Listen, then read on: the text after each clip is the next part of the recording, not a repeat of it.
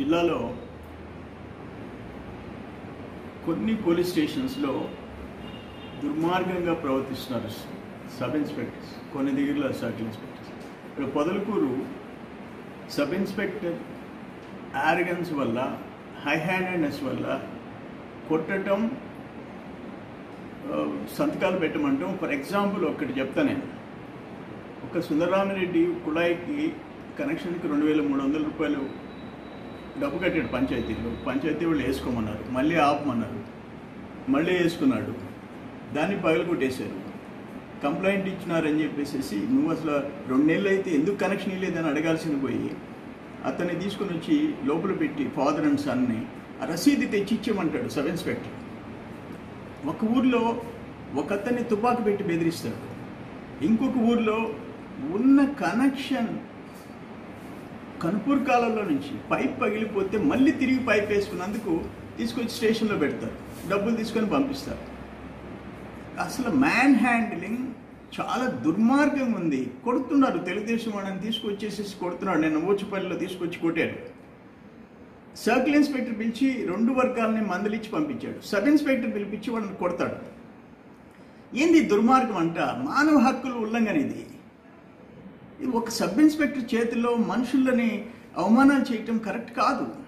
నేను గతంలో ఎస్పీ గారికి చెప్పా అయ్యా జిల్లా మొత్తం మీద ఐదారు మంది ఇట్లా ప్రవర్తిస్తున్నారు. వాళ్ళని కంట్రోల్ చేయండి. ఐదారు మంది జిల్లా మొత్తం మీద. ఒకవేళ వాళ్ళకి అధికార పార్టీ ఒత్తిడి ఉండొచ్చు. అయినా కూడా మనుషుల్ని కొట్టేదానికి ఎవరిచ్చారు హక్కు? ఆ రసీదు వెనక్కి ఇచ్చేయమని చెప్పేసి కుళ్ళాయికి కట్టిన రసీదు వెనక్కి ఇవ్వమని చెప్పేసి అంటాడు. అసలు ఆయన ఎవరు రసీదుని వెనక్కి అడిగేదానికి? రైతుల్ని లోపల పెట్టేది ఏంది? ఇది సహించరాని విషయం. ఎస్పీ గారికి నేను లెటర్ పంపిస్తున్నా. ఒక ఒక టెన్ ఇన్సిడెంట్స్ పొదలకూరులో జరిగినవి నా లెటర్ మీదనే పంపిస్తున్నా. నేను ఎస్పీ గారికి ఒకటే విజ్ఞప్తి చేస్తున్నా. ఇటువంటి వాళ్ళు మీకే తెలుసు. ఎవరు రూడ్గా రిజిడ్గా అన్యాయంగా చట్టాలను వాళ్ళ చేతిలోకి తీసుకొని దుర్మార్గంగా ప్రవర్తిస్తున్నారో మీకు తెలుసు. వాళ్ళ మీద యాక్షన్ తీసుకోండి.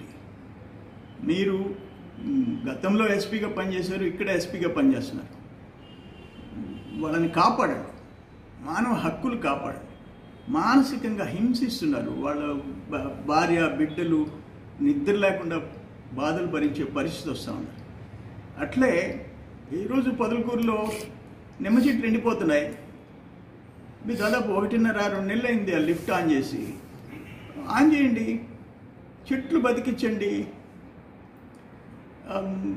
అట్లే డేగపూడి వాటికి కండ్లేరు లో లెవెల్లో నీళ్ళు వదిలిపెట్టండి. తాగేదానికి నీళ్ళు లేవని ఇబ్బందులు పడుతున్నారు. అక్కడ దాదాపు ఇరవై ఆరు టీఎంసీలు ఉన్నాయి సోమశిల్లో ఐ మీన్ కండలేరులో. కండలేరులో మీకు వచ్చిన బాధ ఏంది? దాని కింద మీరు సాగుకి లేదు. అప్పుడప్పుడు తాగునీరు ఇటువంటి చెట్లు కాపాడేదానికి లిఫ్ట్ ఆన్ చేస్తే ఫోర్ డేస్. ఇది ఒకటి.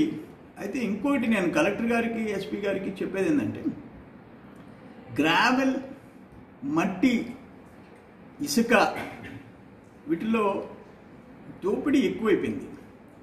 ఈరోజు సగటు మానవుడు తెలుగుదేశం టైంలో వెంకటాచలం ఫర్ ఎగ్జాంపుల్ పదిహేను వందలకి ట్రాక్టర్ వచ్చేది. ఈరోజు నాలుగు వేలు. ఆడ ఐ మీన్ పుడిపత్తి ఇటువంటి ప్రాంతాల్లో రెండు వేలకు ట్రాక్టర్ వచ్చేది. నాలుగు వేల ఎనిమిది వందలు. ఎవరి చేతిలో పోతుంది ఈ డబ్బు? ట్రాన్స్పోర్ట్ అండ్ గవర్నమెంట్ కట్టే డబ్బు మీద అధికంగా ఎందుకు ఇసుకకు వసూలు చేస్తున్నారు? గ్రావెల్ రాత్రింబౌళ్ళు వెంకటాచలం మండలంలో ఎందుకు ఎత్తుతున్నారు? రాత్రింబౌళ్ళు తెలుగుదేశం ఇళ్ళు కట్టుకునే దానికి తన సొంత పొలంలో మట్టి తోలుకునే దానికిలే ఈ జిల్లాలో. సొంత పొలానికి ఒక పొలంలోంచి ఇంకో పొలంలోకి తోలుకునే దానికిలే. సొంత ఇళ్ళు కట్టుకునే దానికి ఇసుక తోలుకునే దానికిలే. వాళ్ళ దయాదక్షిణాల మీద ఇసుకుపోవాల్సిందే ఇది ఎక్కడ న్యాయం అంట నేను. ఇది నేను కలెక్టర్ గారికి నేను అనేది జిల్లాలో కరప్షన్ పెరిగిపోయింది. ఎవరు కారణం? ఎందుకు ఇంత అవినీతి పెరిగిపోయింది? ఇది కంట్రోల్ చేయండి. కంట్రోల్ చేయకపోతే మీరే రెస్పాన్సిబుల్ జిల్లా కలెక్టర్ ఉండి అది అవినీతిని కంట్రోల్ చేయలేకపోయేదానికి కారణం ఏందో చెప్పండి. మీరు తీసుకున్న యాక్షన్స్ చెప్పండి.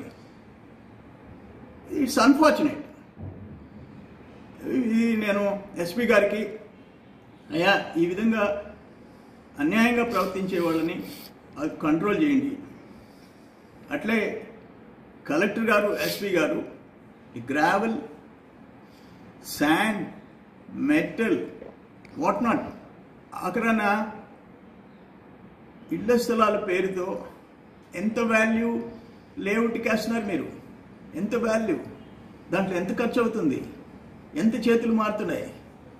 ఇది పేదోళ్ళ పేరుతో కూడా పేదోళ్ళ పేరుతో కూడా ఆఖరికి చెప్తున్నారు. కరోనా బాధితుల పేరు వరుస వలస బాధిత బాధితుల పేరు చెప్పి కూడా డిజాస్టర్ మేనేజ్మెంట్ ఫండ్స్ మిస్యూజ్ అవుతున్నాయని చెప్పేసి చెడు పేరు వస్తుంది.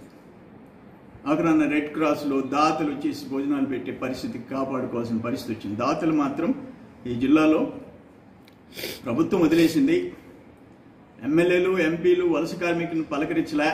జిల్లా యంత్రాంగం పలకరించలే ఆఖరాన దాతలు కాపాడారు. వాటిల్లో కూడా మిస్యూజ్ అంటున్నారు. వీటన్నిటిని కంట్రోల్ చేయమని చెప్పేసి నేను విజ్ఞప్తి చేస్తాను